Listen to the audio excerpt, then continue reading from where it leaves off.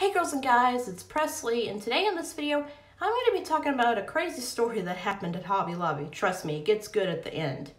So keep on watching. Anyway, it all started back on June the 19th, which was a couple weeks ago, I think. So it was during the weekend, by the way, just so you know.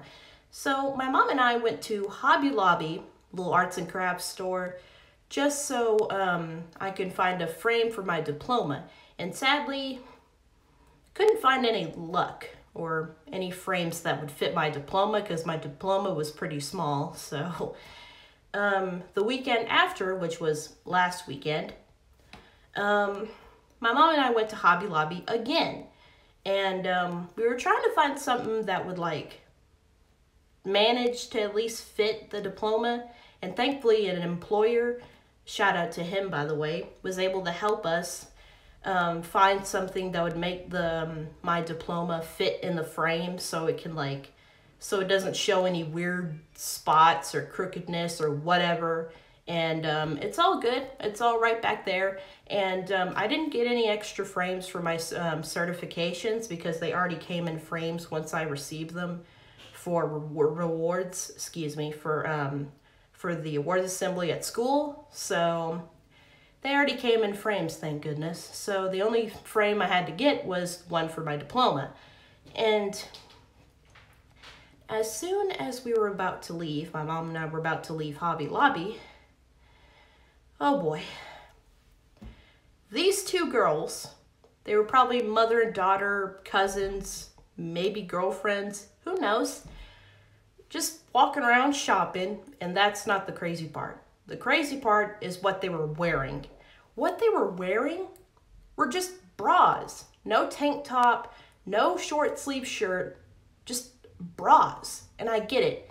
It's summertime, it's really hot in Texas, you start sweating, and I get it. I get it. You want to at least wear something that's like, you know, not too hot. But bras? Really? I mean, come on. I, I know this is too much information for me to, um, for me to tell you, but I did say in my YouTube channel that I would talk about different topics and crazy stories throughout my life. So this is one of them. And if you don't like it, then uh, you don't have to watch these types of videos anymore. Just saying. Just saying. Don't unsubscribe just because I said crazy stuff like this. I'm just saying.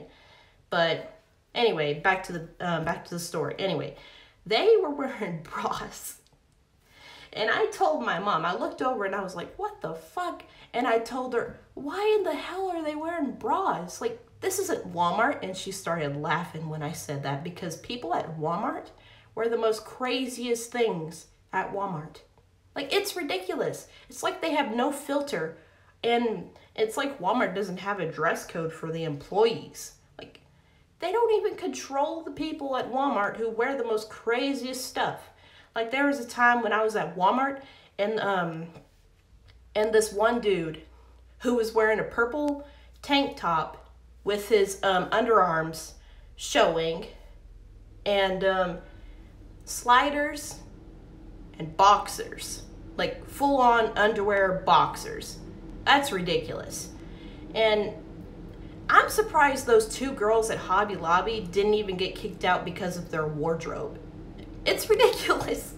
I was I was thinking, what the fuck? And my mom was thinking the same thing too. I'm I'm still surprised they didn't they didn't get kicked out to this day. And um, as soon as my mom and I were walking out to, um, towards my mom's car so we can leave to go home, we saw those girls walk by go, um, going to Sweet Frog. And my God, I get it. It's hot. It's scorching hot here in Texas. Like, Texas is the most hottest state you can go to. Well, in Florida and Arizona, those those states are pretty hot too. But Texas, shit, it's fucking hot, hot as shit.